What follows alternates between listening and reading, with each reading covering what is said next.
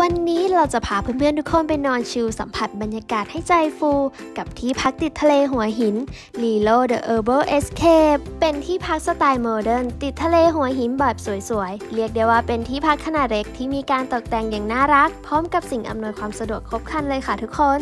ายในโรงแรมก็จะมีห้องพักทั้งหมด 54 ห้อง 9 room type และห้องพักของเราที่เราจะไปนอนพักผ่อนกันในคืนนี้ก็คือวิลล่าบีดฟอนเอสเต e พู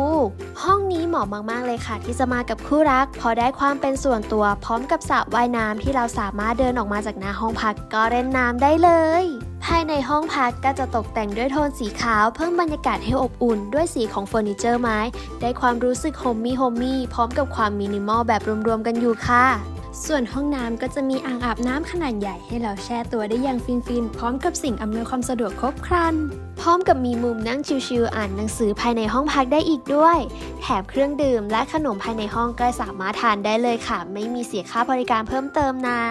แล้วเราก็ไปดินเนอร์กันที่ห้องอาหาร Coast ที่มีโซน outdoor ให้เราได้นั่งชมวิวทะเลระหว่างทานอาหารได้อย่างชิลๆเลยค่ะและอาหารเช้าของทางโรงแรมจะเป็นแบบบุฟเฟ่ต์และยังสามารถสั่งอาหารจานเดียวแยกได้อีกด้วยค่ะอย่างข้าวยำสไตล์เกาหลี ข้าวหมูแดงอบน้ำผึ้ง ข้าวต้มทรงเครื่อง และอื่นๆ อีกหลากหลายเมนูเลย และเพื่อนๆ คนไหนที่เป็นสายถ่ายรูปต้องไม่พลาดกับมุมนี้เลย ก็คือตรงสระว่ายน้ำและสะพานที่เราสามารถเดินลงทะเลได้ค่ะ บอกเลยว่ามุมนี้คือสวยมากๆเรียกได้ว่าเหมาะมาก ๆ เลยค่ะ กับเพื่อน ๆ คนไหนที่กำลังมองหาที่พักติดทะเลหัวหิน บรรยากาศดี ๆ ต้องไม่พลาดกับที่นี่เลย